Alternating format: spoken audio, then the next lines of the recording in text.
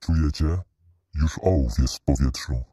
To fajerwerki na waszą cześć. Za to, że korzystacie z legalnych źródeł kultury. Dzięki, że tu jesteście. Zapraszam na film. Maciej Kawulski. I po takim wstępie już Państwo e, wiedzą na pewno, że e, spotykamy się, żeby porozmawiać z twórcami filmu e, Jak zostałem gangsterem, historia prawdziwa.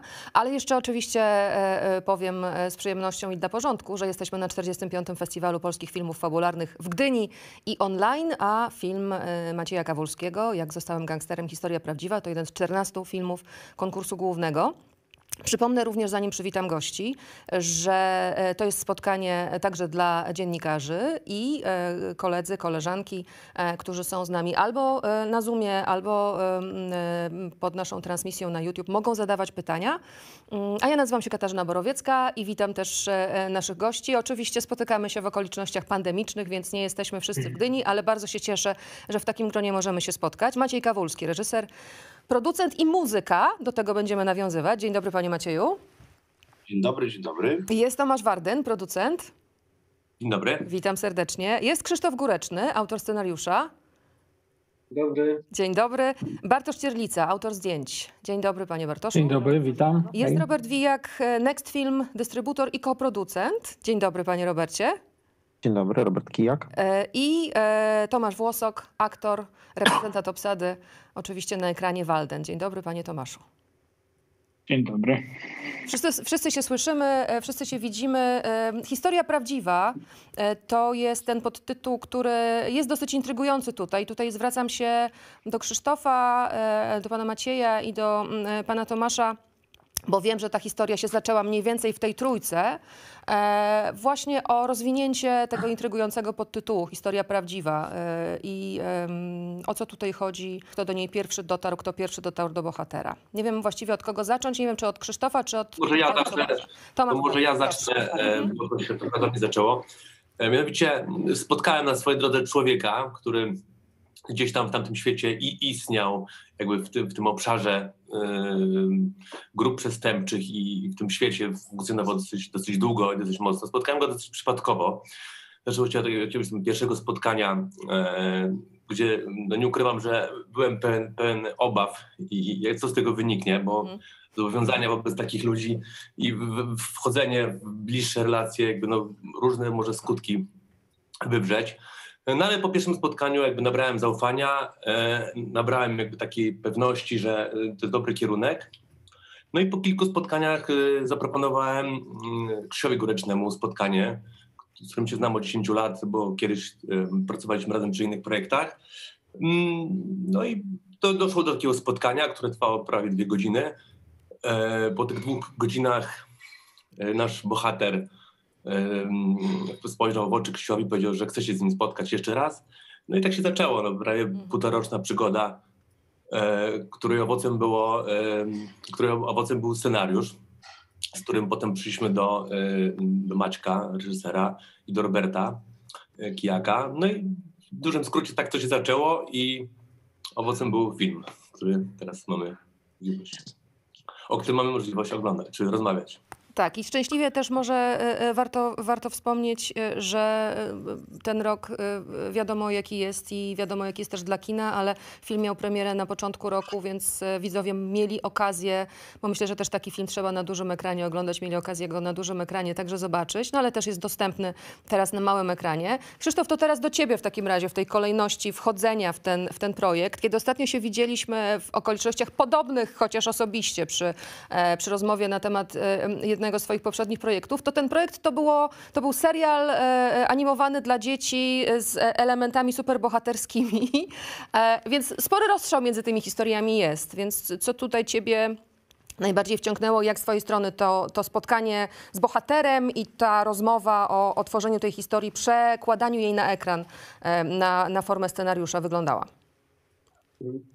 E, wracając do moich familijnych korzeni, zaczynając od no to, e, znaczy no nie, ja jestem zdania, że historia to jest historia, a już w jakim gatunku się ją opowiada, to, e, to, to, to jest sprawa, mm, jeśli jest dobra historia, to można ją opowiedzieć w takim gatunku albo w innym, gatunek się dobiera do historii. Więc jeśli jest dobra historia w kinie familijnym, to, to ja bardzo chętnie. Jak jest dobra historia w kinie gangsterskim, to ja też bardzo chętnie. E, Tomek opowiedział o tym naszym pierwszym spotkaniu. E, To był 1 sierpnia e, 18 roku.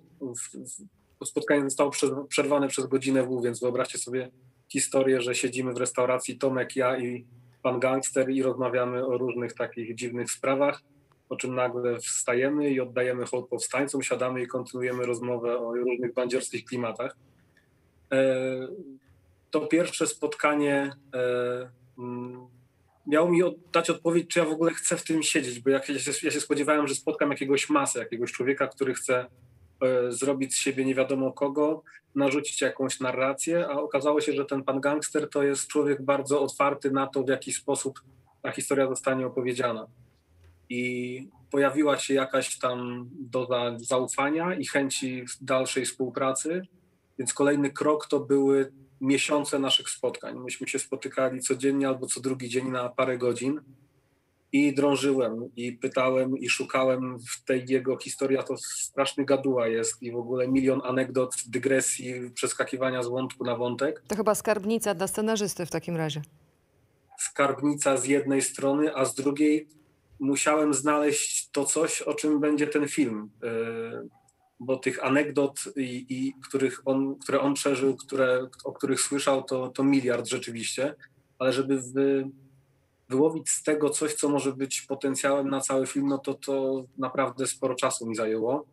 Yy, Aż w końcu się zaczął rodzić ten pomysł, Yy, ten, ten gangster nie chciał o tym mówić, bo to dla niego była dosyć taka krępująca historia, czyli przyjaźń. Chciał opowiadać o tym, jak tam kogoś zniszczył, jak tam kogoś załatwił, oszukał, jaki był sprytny, silny i, i w ogóle wspaniały. A historia jego relacji z tym człowiekiem, na którym wzorowana była postać Waldena, e, on o tym wspominał gdzieś tam między wierszami, tak troszkę niechętnie widać, że hasło przyjaźń w ogóle nie przechodziło mu przez gardło. I, I ze spotkania na spotkanie gdzieś tam mnie naturalnie ciągnęło, że tam jest ta historia warta opowiedzenia. Facet, który y, ma niesamowicie spójny światopogląd, bandziorski jakiś kodeks, jakieś takie zasady, które obowiązują tylko jego i przyjaźń, y, którą czuje do drugiego człowieka, która jest dokładnie w poprzek tych zasad. I, I tutaj ten konflikt się narodził. Tutaj, tutaj złapałem to coś, że na tym należy opowiedzieć y, tę historię. No i jak już to złapałem, no to wszystkie elementy zaczęły skakiwać na swoje miejsca i ta historia zaczęła funkcjonować tak na dobre. Mhm. Panie Macieju, teraz do Pana. Podobne pytanie, ale też wiem, że w tym czasie, kiedy się e, Pan Tomasz i Krzysztof zwrócili do Pana z tym, e, z tym, z tym pomysłem, to też Pan był w, w trakcie intensywnych już przygotowań pracy nad Underdogiem 2. Więc e, co tutaj dla Pana... Do, domyślam się, że też ten wątek tej męskiej przyjaźni, czy wręcz takiej e, e, braterskości, czy miłości, on, on jakoś powraca i, i, i, też w rozmowach wokół premiery filmu pojawiały się takie informacje, że to było dla Pana jednym z tych elementów, które były ciekawe w tej historii. Ale co jeszcze? No ja też poznałem bohatera Mhm.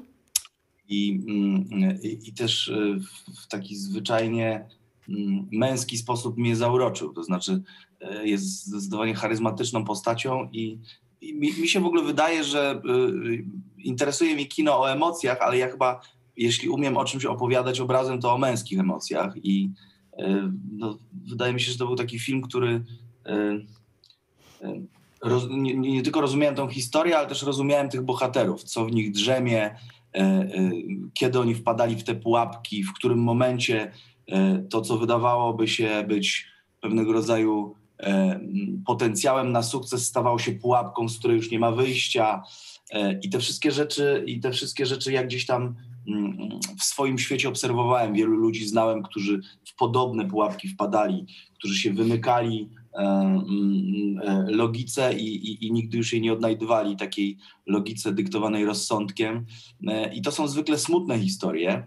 Mm, I, i, wpadliśmy wspólnie z Krzysiem i, z Tomkiem na pomysł, żeby spróbować to opowiedzieć nieco inaczej, żeby spróbować stworzyć z takiej historii, która wymuszałaby gangsterski dramat, zrobić z tego balladę. Nie komedię, ale balladę. I mm, No i jak weszliśmy w ten projekt i zaczęliśmy pracować nad scenariuszem już pod kątem rytmu, montażu i, i pomysłu, w jaki sposób to prowadzić, to, to rzeczywiście yy, no, zamieniliśmy się w tą historię właściwie na półtora roku wszyscy i, Mhm. i bardzo się temu poświęciliśmy. E, Panie Robercie, Robert Kijak, e, Next Film. Ja jeszcze tutaj pana zapytam, bo, bo oczywiście e, dystrybutor, koproducent także, ale co, co tutaj dla pana w tej historii z punktu widzenia także no, no firmy było najciekawsze i to, że i, i co zadecydowało o tym, że, że się w to zaangażowaliście państwo?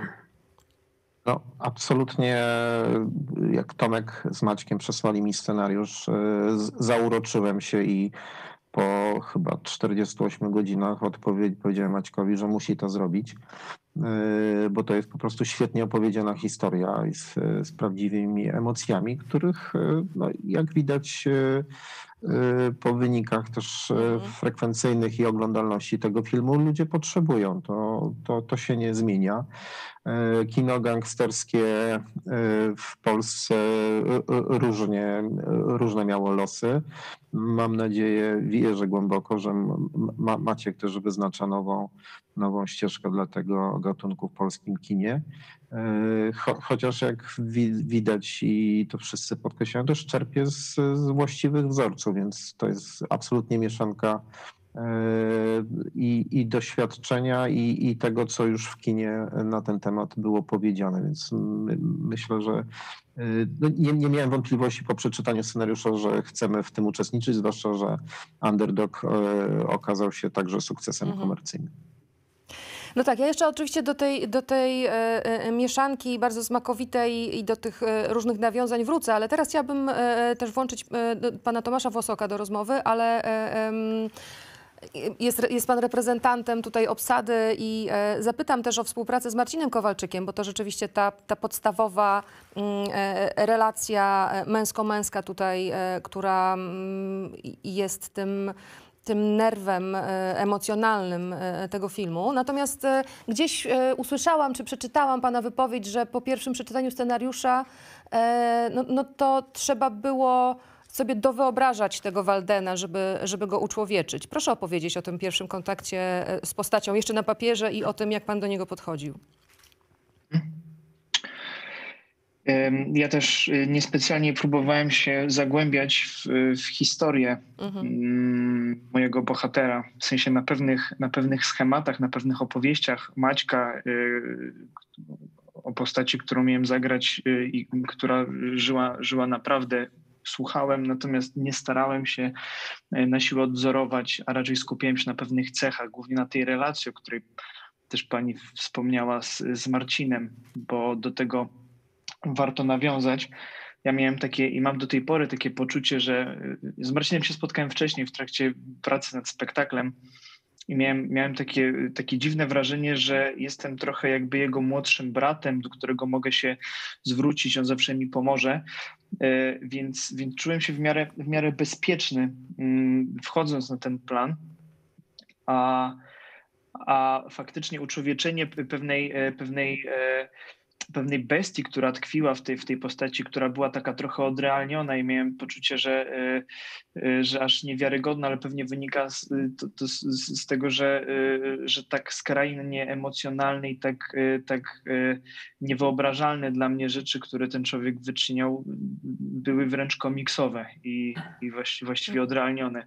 Więc e, myślę, że to miałem na myśli uczłowieczeniu, a, a uwierzenie w tę historię, wskoczenie w nią i, i e, no, no to generalnie istny roller coaster. No. Mhm. No i to też jest tak dla widza, mam wrażenie, i to jest rzeczywiście e, z tym rollercoasterem, ale on jest na każdej płaszczyźnie tutaj, bo i na płaszczyźnie opowieści, ale też właśnie tej gry, wręcz powiedziałabym, woltyżerki różnymi cytatami, ko- konwencjami dla wszystkich, którzy się wychowali na tym kinie gangsterskim, którzy je e, e, chłoną, na, na, dla, na wszystkich, dla wszystkich, którzy e, e, e, łykają właściwie bez, bez zastrzeżeń e, wszystko na przykład, co robi Tarantino, to tutaj, czy, czy, czy, czy chociażby z drugiej strony Martin Scorsese. To jest, to jest też taki, taka przyjemność, żeby się trochę poczuć spokrewnionym z twórcami żeby, i żeby te wszystkie jakieś odniesienia sobie tutaj znaleźć, wychwycić. Więc chciałabym też Panie Macieju, i tutaj też do, do Bartosza Cierlicy, Cierlicy się zwracam e, z pytaniem. E, e, e ta ballada e, gangsterska, ona obejmuje cztery dekady, więc e, e, pytanie, jak pracowaliście nad obrazem tutaj, żeby te wszystkie właśnie, Guy Ritchie też się pojawiał jako, jako, jako punkt odniesienia tutaj w sposobie opowiadania, żeby te wszystkie elementy ze sobą, ze sobą połączyć, ale też pokazać tę historię no, na przestrzeni tylu lat. Czy, czy tutaj jakimś, jakimś tematem właśnie było to, w jaki sposób ten upływ czasu w obrazie przekazać? Maćku? Panie Bartku. Ja? Nie, Maćku, panie Bartku, panie, to panie Maćku. To dobrze. pana zaczniemy. To panie Maćku. Nie, panie Bartku, proszę. Panie, panie Bartku, proszę. dobrze. E, słuchajcie, no, ja też miałem przyjemność spotkać się z bohaterem. Mhm. Też miałem przyjemność zapoznać się z materiałami VHS, które z kolei dla mnie były jakimś tam wyznacznikiem e, zastanawiania się nad tym, jak ten film opowiedzieć.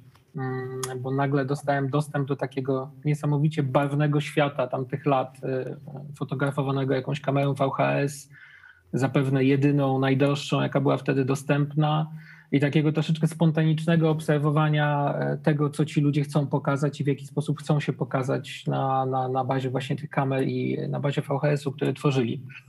I to na pewno pozostało w tym filmie, bo gdzieś tam e, cała pętla i wiele wstawek, które zrobiliśmy, zrobiliśmy rzeczywiście na kamerze VHS i chcieliśmy mieć takie troszeczkę postrzeganie, można powiedzieć, tej rzeczywistości gangsterskiej, subiektywny komentarz e, mm. kamery VHS. I to jest, przepraszam, Natomiast... że panu wchodzę, są takie właśnie hmm? bezpośrednie nawiązanie do tych materiałów autentycznych, które oglądaliście od e, bohatera? E, tak, jest to pewnego rodzaju nawiązanie. Oczywiście nie ma tam jakichś bezpośrednich cytatów, natomiast chcieliśmy też gdzieś... E, ci ludzie bardzo chcieli się pokazać, tak? Ci ludzie bardzo chcieli pokazać swoje życie, bo oni w tamtych czasach, które my, będąc wtedy młodzi czy wychowując się, pamiętamy jako jakieś czasy szare i takie ponure, e, byli, chcieli być postrzegani jako takie kolorowe ptaki, tak? Można powiedzieć o ludzi, którzy byli ubrani inaczej, jeździli innymi samochodami, e, pływali e, motorówkami, mieli dostęp do właśnie pieniędzy, pokazywali to, chwalili się tym, żyli tym. Także gdzieś tam to na pewno też chcieliśmy przekazać. Natomiast mm, ja sobie zrobiłem taki research, można powiedzieć, e, zdjęciowy, YouTube'owy, patrząc na jakieś materiały archiwalne, przeróżne, zarówno prywatne, jak i te, które były dostępne, dostępne ogólnie. Też zastanawiałem się, jak pani mówiła, nad wieloma filmami gangsterskimi, które zostały zrobione w Polsce, jedne lepiej, inne gorzej. Chcieliśmy coś z Maćkiem wykombinować, żeby to było inne. I troszeczkę postawiliśmy sobie za punkt honoru takiej, żeby sportretować w formie, powiedziałbym, malarskiej tamten świat, tak, żeby spojrzeć trochę na to, co się wtedy wydarzyło, nie okiem dokumentalisty, który chciałby odwzorować to wszystko w formie jeden do jeden, tylko powiedzmy okiem malarza, który chciałby swoją interpretację lat gangsterskich namalować. Ja sobie osobiście tak myślałem, że jakby podszedł do tematu, gdyby żył Edward Hopper i chciał namalować polski świat gangsterki lat 90. I gdzieś tam mi się wydaje, że to była taka główna inspiracja i poszukiwanie, co z tego zrobić, jak potraktować to paletą barwną w ogóle, jak to wyróżnić od e, klasycznego filmu gangsterskiego, który powinien być po prostu szary, dziać się w listopadzie i, i być taki bardzo zdesaturowany. A myśmy z kolei chcieli pokazać świat, którym gdzieś tam ci ludzie chcieli żyć, tak? czyli jednocześnie świat bardzo brutalny, ale dla nich niezwykle kolorowy, dla nich wyjście z lat 80., z jakiejś tam przeszłości komunistycznej. I stąd można powiedzieć taka podstawowa część plastyki. Natomiast faktem jest też to, że z Maćkiem świetnie się pracuje, jeżeli chodzi o opowiadanie obrazem. To jest reżyser, który ma swój film zmontowany w głowie jeszcze nim wejdzie na plan zdjęciowy, także my mieliśmy szansę sobie opowiedzieć to właśnie na zasadzie takich kadrów, cytatów, nawiązań, I fajnie było, że mogliśmy do tego się tak przyszykować, tak naprawdę dopracować ten, ten storytelling i gdzieś tam mm, bawić się, mm, tak jak pani mówiła, jakimiś cytatami, czy ze Scorsese, czy z Tarantino, czy z przeróżnych innych filmów, które mówiły o tej tematyce. Nie wzorować, a tak naprawdę gdzieś tam nawiązywać i, mhm. i, cytować pewne rzeczy. Ale macie chyba więcej teraz uzupełni.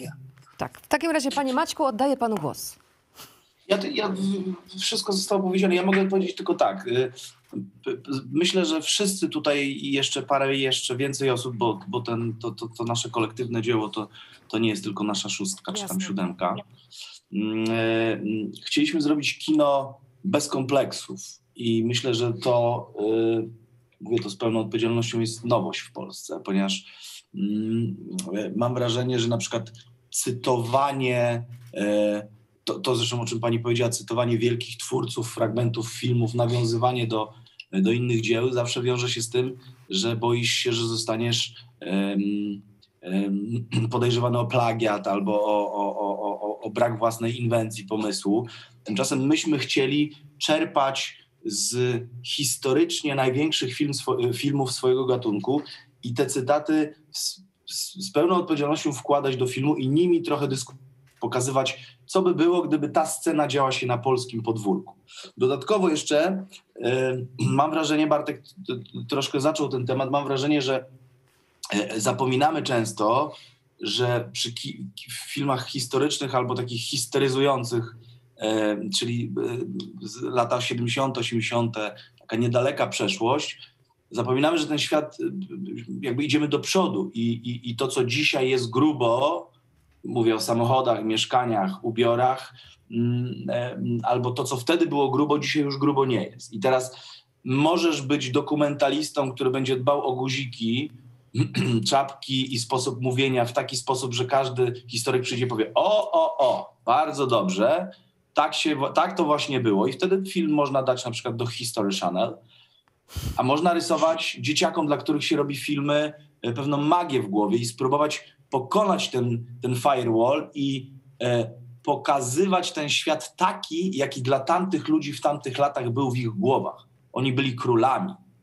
Mhm. I jeśli chcesz być królem, to musisz mieć królestwo. I myśmy wszyscy wspólnie próbowali to królestwo stworzyć. Bajkowe kompletnie, bo ten film, e, mm, no, żadna lokacja, w której się znajdujemy w naszym filmie, w rzeczywistości skądinąd historyczne e, mm, sytuacje nigdy nie działy się w takich miejscach. Działy się w brudnych piwnicach. Oni rzeczywiście nie mówili tak fajnie jak nasi bohaterowie i nawet tak fajnie się nie ubierali. No ale tak się nie tworzy bohaterów. No też właśnie y, y, tworzy się film w pewnej konwencji, tworzy się film, film gatunkowy i to też jest, y, to jest wątek na zupełnie inną rozmowę, ale E, ale e, e, pewne przecieranie szlaków tutaj następuje. Natomiast chciałabym jeszcze o, o nawiązać jednak i pozostać przy, tym, przy, tym, przy tej progresji czasowej, przy tym, że to rzeczywiście obejmuje tyle lat, bo tutaj ogromna praca i scenograficzna, i kostiumograficzna, i charakteryzatorska. Panie Tomku, bardzo jestem ciekawa, jak się, jak się funkcjonowało przez pewien czas na ekranie z, z, z fryzurą charakterystyczną dla, dla lat 90., więc może jeszcze wrócę do pana Maćka do pana Tomasza, ale panie Tomku, tutaj do Tomasza Włosoka się zwracam. E, proszę mhm. opowiedzieć trochę rzeczywiście też o, ty, o tym aspekcie pracy, o tym wchodzeniu w te kostiumy, w ten ortalion z, ze sceny, która też w zwiastunie się pojawia, czy, czy, czy o, te, e, o te wszystkie aspekty właśnie e, pracy aktorskiej na planie, w której wspomagają pana poszczególne piony właśnie tworzące ten świat. Y, chyba zacznę od tego, że w zasadzie Maciek, który zobaczył mnie z przyklejoną e, tak zwaną mm, płetwą, tak to dumnie nazwaliśmy e, do włosów, e, to w pierwszej reakcji powiedział, że już mam zbudowaną rolę. I, I od tego wystartowaliśmy, bo to w zasadzie były pierwsze przymiarki mhm. i chyba jeszcze nawet nie próbowaliśmy rozmawiać o tym. Ale pamiętam, że mnie to mocno rozbawiło i faktycznie poniekąd miał rację, bo, y, y, bo takie to bardzo ułatwiało mi zainstalowanie się w, w, w czasy, w świat, którego tak naprawdę nie znam i y, nie miałem nigdy szansy poznać, ani okazji, tych chęci do tego na pewno nie miałbym, ale mm, ale, ale na pewno zarówno kostium, który który wydawał mi się jednocześnie właśnie mm, kostiumem, ale czymś, czym się czułem naturalnie i swobodnie bardzo. I, i z obserwacji widzę, widzę ludzi do tej pory ubierających się podobnie, więc, e, więc nie, nie, nie czułem się zdziwiony, jak miałem to na sobie. Naprawdę mi to bardzo pomagało. E, I, i to, ile my rozmawialiśmy o tym świecie, jak, jak wielokrotnie w trakcie rozmów podkreślaliśmy, że, że wspaniale się bawiliśmy na tym planie, czego to było zasługą ludzi, których mieliśmy dookoła, którzy współtworzyli ten projekt, którzy wszyscy się generalnie wspaniale bawili na, na, na planie. Była, mam wrażenie, że to sprawiło, że, że takie poczucie bezpieczeństwa, tej, tej chęci wybudowania tego projektu, e, ten klocek, e, po klocku się układała ta, ta taka konstrukcja, która nas mocno budowała i sprawiała, że, że, że, że my po prostu wiedzieliśmy, że że nie ma szans, żeby ten film nie wyszedł jakby y, wedle jakby po naszej myśli. O, tak bym, tak bym to e, nazwał, bo wiadomo, ciężko przewidzieć frekwencję, natomiast my czuliśmy, że, że, że tworzymy coś, co, co, co być może ma sens, ale przede wszystkim e, przynosi nam wspaniałą zabawę. Jeszcze dopytam, bo z, z, rozmów przy poprzednich też projektach i też przy poprzednim filmie, który pan zrobił z Maciejem Kawulskim, wynika, że na przykład jeśli chodzi o przygotowanie fizyczne do, do tego typu roli, to tutaj nie było problemu, bo sztuki walki, sporty walki nie są panu obce. Ale co tutaj było hmm. najważniejszym, naj, naj, naj, najtrudniejszym elementem w przygotowaniu i dotarciu do tej postaci? Czy, czy da się to jakoś określić? Bo ta postać jeszcze dopowiem, przepraszam, zanim, zanim pan dopuszczę do głosu, że rzeczywiście, kiedy się, kiedy się czyta recenzje, kiedy się czyta komentarze, a też e, e, obserwowałam trochę to, co się dzieje wokół filmu, chociażby w mediach społecznościowych, to w każdym właściwie komentarzu e, widza o filmie powtarza się i powraca, e, powracają gratulacje, powraca zachwyt dla pana roli, więc dlatego tak dopytuję. Dziękuję, bardzo miłe. E, ja się przede wszystkim bałem chyba y, na pewno y, tej skali, tej rozpiętości emocjonalnej, tego, co, co ci ludzie przeżywali, jak oni odczuwali te emocje. Domyślałem się, że to, to musi być bardzo, bardzo skrajne w przypadku, kiedy nie, nie, nie wie się, czy, czy się dożyje jutra to domyślam się, że, że, że mocno w tych ludziach buzuje mm, i ta skala mnie przerażała na pewno.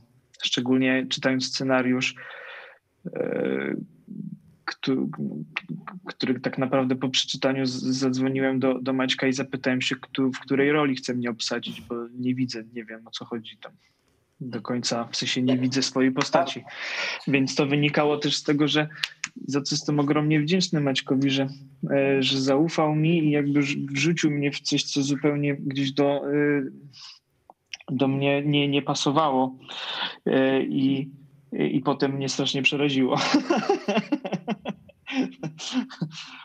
Ale jakby tak skracając odpowiedź, to tak, skala tej emocjonalności mnie, mnie gdzieś tam postawiła na początku przy ścianie. Mhm. Panie Maćku, to teraz do Pana w takim razie. Trochę może e, proszę o, o reakcję też i o, o to... Zanim pytanie, mhm. zanim, zanim pytanie, ja pozwolę sobie jeszcze wrócić do tego, e, do, do Tomka właściwie. No właśnie Jak, od tego to, chciałam to... zacząć, żeby Pan wrócił do, do tego, co Pan Tomek powiedział. To, to, to, jak to Tomek ładnie nazwał, jak się instalował w roli, to mm, tak się zainstalował, że y, no,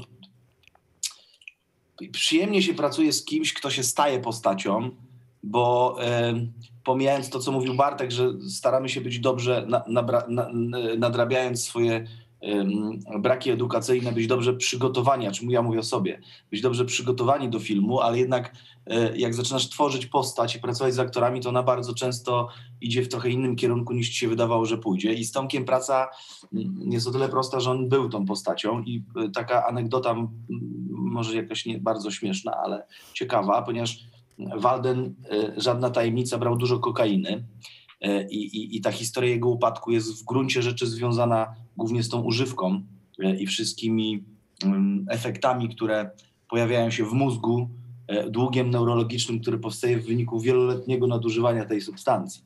I ponieważ Tomek mm, aktorsko nie był w stanie za każdym razem być na takim high emocjonalnym, w związku z czym nadrabiał to kawą było bardzo dużo kawy i on przed każdą sceną, w której był naćpany, pił 3-4 kawy i w pewnym momencie, ja jak jestem w projekcie, jestem w projekcie, ja y, nie mogę powiedzieć, że jestem tym typem człowieka, który dba o ludzi i zauważa coś, interesuje mnie projekt, natomiast w pewnym momencie y, podszedł do mnie Tomek, a jest z rodziny, z rodziny lekarskiej i powiedział, za pół godziny będę wzywał karetkę. I ja się zorientowałem, że ten chłopak ma e, ciśnienie myślę z 300 na 200 ponieważ cały czas, cały czas chciał żeby, żeby to jego ciało mm, reagowało jakoś na tą rolę. Więc myślę, że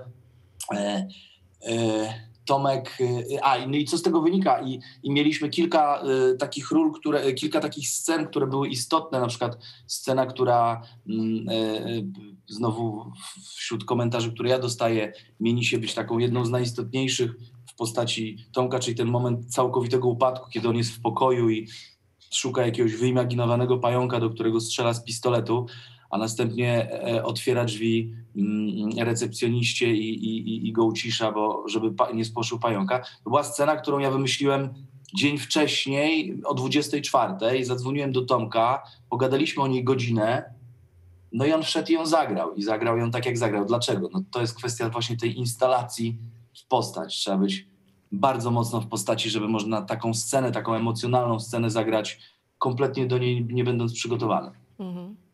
Tutaj jeszcze... No ale Brawo, z tego taki, że, tak. Że pije teraz zbożową. to lepiej. Ka kawę prawdopodobnie w takim razie, z tego co słyszę, wypił pan na co najmniej 10 lat wystarczająco dużo.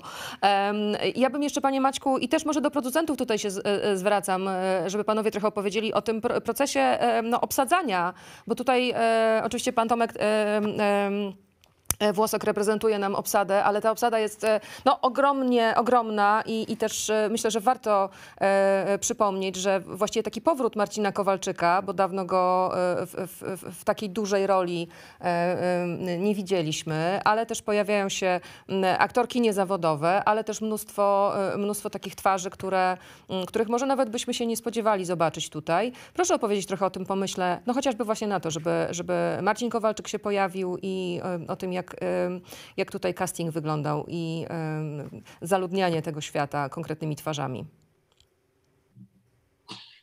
No myśl, ja myślę, że to jest w ogóle recepta na casting i, i, i dobór. Ja przynajmniej tak to postrzegam. To jest, to jest w ogóle kwintesencja dobrego filmu, bo to jest wiadomo, że muszą być aktorzy, ale od tego, jacy oni będą, jakie mają konotacje nie tylko ze świata filmowego, ale bo, bo, dzisiaj to jest już o wiele szersze, ale też ze świata socialowego, ze świata, z ogólnie rozumianego show biznesu i wszystkie te konotacje wnosisz ze sobą do filmu. I w momencie, kiedy naciskasz play, jesteś w kinie, siadasz w siodle, odpalają się te wszystkie emocje, które są związane z tą osobą. I jak nie masz tego świadomości, wydaje ci się, że to jest carte blanche i puszczasz widzowi film i on mówi, o, postać Walden. Nie, on zna e, tego człowieka, z czymś mu się kojarzy, on oglądał niedawno z nim jakiś film. I teraz trzeba mieć pełną świadomość tego, co dajesz widzowi na starcie. E, no i myśmy z Tomkiem stwierdzili, że, że, że, że no stworzyliśmy sobie jakiś pomysł na to, w jaki sposób będziemy dobierać bohaterów i stwierdziliśmy, że będziemy obsadzać pierwszą linię aktorami niezgranymi, e, wspomożemy ich e, na plecach kilkoma tuzami aktorstwa, a dodatkowo jeszcze wprowadzimy wśród postaci, które są no, no, no powiedzmy pierwszoplanowe, ale, ale, ale nie mają takiej dużej ilości materiału do zagrania, e, właściwie, e, właściwie takich socialowych.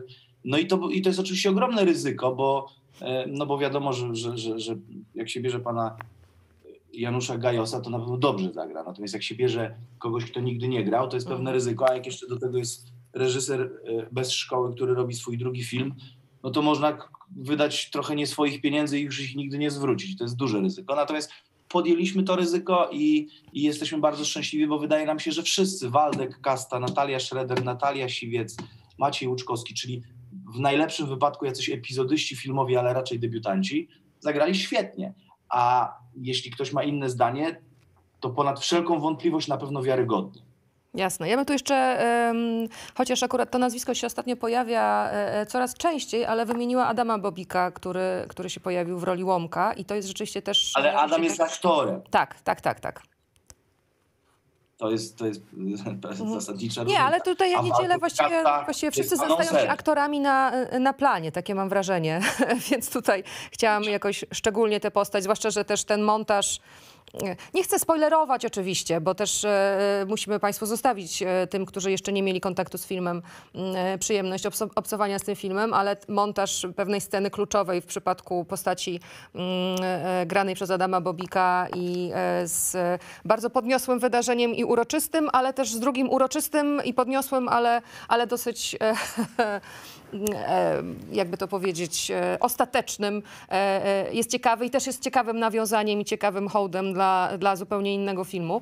No ale dobrze, to zostawmy, bo tutaj już zaczynam mówić zagadkami, e, żeby Państwu nie zdradzać tajemnicy, ale też patrzę na Krzysztofa Górecznego teraz i przypominam sobie w scenie ślubu głównych bohaterów e, zobaczyłam e, w trzeciej ławce, więc też okazało się, że, że znalazło się miejsce dla scenarzysty w filmie. Ale chciałam też oczywiście nawiązać i tutaj być może też do, do Pana Bartka pytanie, bo gdzieś tam powiedziałam, oczywiście zmierzam w stronę muzyki, w stronę ścieżki dźwiękowej. Tutaj nie ma właściwie muzyki specjalnie stworzonej do filmu. Jest ta decyzja, żeby posługiwać się utworami um, także wywołującymi pewne skojarzenia. I na przykład kiedy się Edwin Collins pojawia, um, to, to, to, to rzeczywiście jeśli się zna, e, a zna się, jeśli się zna kino, e, używanie tego utworu wcześniej w kinie, to to budzi dodatkowe, dodatkowe emocje i też e, no i to jest ta, ta, ta, ta główna relacja między bohaterami męskimi głównymi, którzy się, która się zawiązuje tutaj, więc tutaj chylę czoła rzeczywiście, jeśli chodzi o ten uśmiech i to puszczenie oka e, z tą piosenką A Girl Like You. Natomiast, no właśnie, e, utwory e, monumentalne, utwory znane mm, i nieużywane w polskim kinie.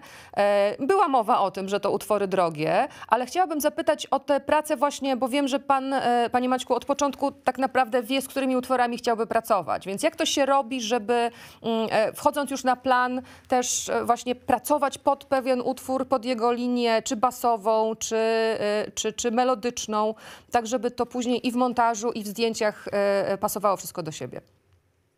Kompletnie nie wiem, jak to się robi, e, natomiast wielokrotnie słyszałem, jak się tego nie robi. Mhm. Jak robiłem underdoga, to miałem jeszcze kompleksy wynikające z braku wiary w siebie i po prostu nie słuchałem swojej intuicji, tylko doradców i zrezygnowałem z kilku pomysłów grubych. Natomiast w gangsterze poszedłem za sobą i na przykład słyszałem cały czas dwie rzeczy od moich kolegów z branży no, duże słowo kolegów, e, nie puszczaj całych utworów i tego nie możesz brać, bo to było już w innym filmie i jest bardzo skojarzone. Więc ja właściwie e, wykorzystałem z sześć numerów całych, w tym jeden siedmiominutowy w naszym filmie, e, właśnie a propos sceny, o której pani mówi, The Purple Child in Time i, i, i, i wszystkie i wszystkie bardzo często brałem numery do tego stopnia skojarzone z filmem, że wręcz wyprodukowane na potrzeby danego filmu, na przykład Koanis Katsi. E, I, i, I mam wrażenie, że, że dokładnie to jest kolejne narzędzie, kolejna figura stylistyczna, kolejny, e, e, kolejny element, którym możesz mówić do widza i możesz pokazywać czwarte dno tej sceny, możesz ją kontrastować, możesz właściwie uruchamiasz kolejny off, w którym coś opowiadasz, nie tylko w formie tekstu, ale w formie skojarzeń z tym numerem. I jeżeli, jeżeli jest scena, w której bohater czyści miasto yy, i, i jest ona yy, zmontowana do, do dwóch scen seksu w montażu równoległym, a, do, a na to wszystko położona jest, jest Tadzio Nalepa sny kolorowe, no to to jest wybuchowa mieszanka, ale ona też coś mówi więcej niż tylko to, że on czyści miasto. I, i, i, myślę, że, myślę, że to jest ciekawe. Ja rzeczywiście y, z muzyką pracuję najpierw, a potem z obrazem, to znaczy y, y, no, męczymy się tą muzyką, mamy kilkadziesiąt numerów. W tym momencie pracujemy nad nowym projektem i właściwie już jeszcze nie, nie jesteśmy, nie zamknęliśmy ostatniej wersji scenariusza, już kupiliśmy dużo muzyki.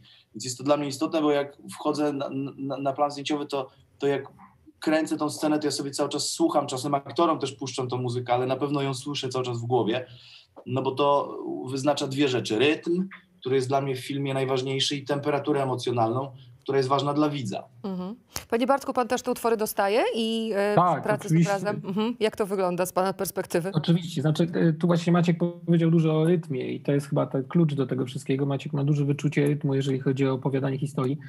E, i jak sobie mm, opowiadamy daną scenę jeszcze na etapie shootingboardowania, czy zastanawiania się w ogóle jak ma wyglądać, to jak gdyby wysłuchanie kawałka, który tam widzi Maciek i e, kawałka, który powinien być użyty wielokrotne, głośno, cicho, w różnych wariantach jest jak gdyby elementem kluczowym. Także mm, ja też zdaję sobie sprawę już na, na etapie tak naprawdę zdjęć, do czego robię zdjęcia, w jakim tempie można robić szwęki, w jakim tempie można podążać za aktorem, jaki ruch kamery będzie wtedy lepszy, czy on wejdzie w rytm, czy nie wejdzie w rytm, wręcz w którym momencie piosenki e, dany ruch kamery może wejść w rytm. To jest fajna, super fajna wiedza, taka nadwiedza w momencie robienia zdjęć. No wydaje mi się, że druga droga, czyli tam tak naprawdę wykonanie najpierw zdjęcia, później poszukiwanie muzyki, która to zilustruje. Oczywiście też w niektórych projektach być może dobrze się sprawdzi i wygląda całkiem sensownie, natomiast tutaj było tyle ułatwiające, że gdzieś tam tą temperaturę sceny już wiedzieliśmy od samego początku. Tak? Znaliśmy muzykę, znaliśmy rytm, wiedzieliśmy jaki typ montażu nam się tam sprawdzi, jakiego typu ruchy kamery się sprawdzają, w którym momencie one będą. Także mm, to jest jak najbardziej e, fajna, fajna wiedza przed, trakcie zdjęć, mhm. to, jest, można mieć. To jest też rzeczywiście ciekawe doświadczenie dla widza, kiedy, kiedy w, w tak e, intensywny sposób też trzeba słuchać i się do tych różnych odwołań wywoływanych przez muzykę wracać do nich po prostu w głowie, ale też przypomina mi się scena, e, tutaj już tylko z, z czystej przyjemności przypominam um, i Państwu również zwracam uwagę, scena jednego z pierwszych napadów tutaj organizowanych przez bohatera i podłożona i z, z, organicznie spleciona właściwie z tą sceną piosenka Klausanomi, w wykonaniu Klausanomi, The Cold Song. To jest bardzo ciekawe, to jest bardzo ciekawe połączenie i robi piorunujące wrażenie. Ale jeszcze bym została przy tym Deep Purple przez moment i przy muzyce i e, kupienie Child in Time do filmu e, domyślam się, że musiało być sporym wyzwaniem, więc proszę trochę też, proszę opowiedzieć trochę, jak to, jak to wyglądało. Także po, do, do, producentów tutaj się, e, tutaj się kieruję z tym pytaniem. Mm, no, Bo to jest brawurowe, nie, mocno. Numery, które są bardzo popularne, nie są trudne do kupienia, są Aha. drogie. Ach, Natomiast tak. E, e, uparliśmy się na kilka rzeczy. E, ja już wcześniej przy, przy, przy Underdogu uparłem się na przykład na Wardrunę, która też mhm. się pojawia w gangsterze. No i na przykład był taki problem, że musieliśmy czekać, aż wokalista wyjdzie z lasu, bo mieszka w lesie, gdzie robi bębny, jest ubrany w skórę. E, i, i, i, po dwóch tygodniach wyszedł z lasu i się zgodził. E, teraz już nas zna i chętnie nam wysyła numery, ale najciekawszy i chyba najdłuższy proces był, a jestem bardzo uparty, jak już, a już jak zmontuję jakąś scenę na jakiejś muzyce, no to już nie ma siły, to już musi być. Żeby, żeby, żeby ktoś mi tego nie zabierał i się czuję po prostu odarty z tego. Mhm. No i tak było w przypadku e, Ludowiko Anaudiego, który jest też częstym leitmotivem w naszych obrazach. Mhm. E, I, no i on po prostu nie chciał się kojarzyć z, z moją twórczością. Najogólniej mówiąc, wydawała mu się ona błaha. Oczywiście nie widział filmu, więc e, przez moment chciałem się uczyć włoskiego, ale stwierdziłem, że jednak napiszę list po angielsku i ktoś go przetłumaczy. Korespondowałem długo z agentką, pokazywało się, że te listy nie dochodziły. No byłem na tyle uparty, że po chyba siedmiu miesiącach w końcu e, Ludowiko osobiście obejrzał film mm, e, i użyczył nam numeru. Mhm. E, a potem, no i teraz, i teraz ta współpraca też już jest kompletnie inna, on już jakby zna, wie, że, że, że, że, że, trochę, że trochę ten gatunek, w którym się poruszamy, trochę prowokowanie widowni, że wcale nie opowiadamy o zabijaniu i o strzelaniu i to nie są wyścigi samochodowe i tu nie chodzi o efekty specjalne, że mówimy o ludziach, mówimy o emocjach i, i że o czym innym jest ten film i, i tak naprawdę mówimy obrazem o tym, o czym on mówi e, muzyką e, I, i, i, chyba jestem, nie wiem, mam śmiem twierdzić, że jesteśmy w ogóle jedynymi ludźmi, którzy którzy mają dostęp do Ludowika Einauddiego w tym kraju i mogą czerpać z jego twórczości przy filmie. Nie słyszałem w każdym razie, żeby ktoś w Polsce e, do filmu kupował tą muzykę. A to jest chyba, jeśli chodzi o klasykę dzisiaj, mm, absolutny, absolutny top. Mm, I, i, i natomiast, natomiast wiele takich numerów, które mogą się wydawać przerażająco trudne do załatwienia, to jest tak naprawdę rozmowa publisherów. E, e, my mamy naszą Madzie Niestrejewską, która prowadzi dla nas e, wszystkie nasze clearowane sprawy e, i, i rozmawia z publisherami. Natomiast no oczywiście im, im numer, myślę, że to jest takie trochę wprost proporcjonalne do, do wyświetleń na YouTubie, no to, no to, to tam, się, tam się tworzą duże pieniądze. I teraz mhm. jeżeli potraktujesz muzykę w filmie jako zło konieczne albo coś, na co chcesz wydać 100 tysięcy złotych i udźwiękowić film, a bardzo często tak się to odbywa, no to, to jest pewien wybór. No my stwierdziliśmy, że potężna część naszego budżetu musi być wydawana na muzykę, dlatego że naszym zdaniem muzyka zmienia wszystko, a na pewno film. Jeszcze chciałabym, e, chyba, że może pan Tomasz chciałby jeszcze coś e, e, ze swojej perspektywy Chciał, tutaj Tomek, coś No właśnie, do ucha. dawno się nie odzywał. Nie, to, to, to muzyką to jest tak, że bardzo często autorzy tekstów życzą sobie e, konkretnych, konkretne sceny, w których muzyka będzie użyta i taki, wymagają takiej eksplikacji reżyserskiej, w jaki sposób ta scena ma być pokazywana, więc tutaj bardzo często jest taka mm, e, trudność, e, jeżeli chodzi o decyzję.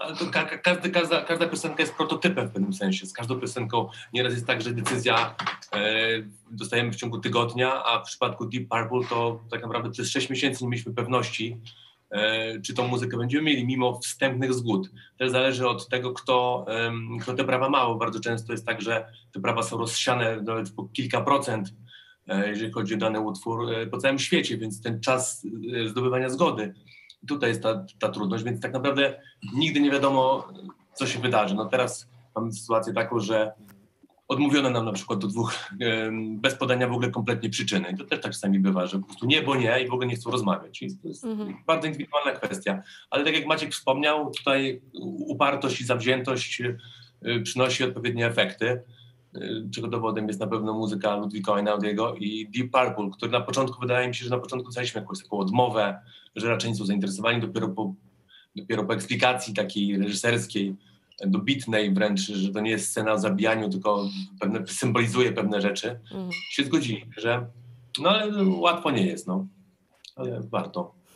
Jeszcze chciałam dopytać, bo oczywiście, e, e, tak jak wspomniał już pan, e, pan Maciej wcześniej, reprezentacja pan, panów tutaj to jest oczywiście tylko reprezentacja całej ekipy, więc chciałabym ze względu na to, że rzeczywiście mm, imponujący ten okres, o którym film opowiada i imponująca praca scenograficzna, kostiumograficzna, charakteryzatorska, to jeszcze mm, panie Maćku, panie Tomku, być może do panów to jest właśnie o, o parę słów o tych współpracownikach, którzy ten świat tworzyli.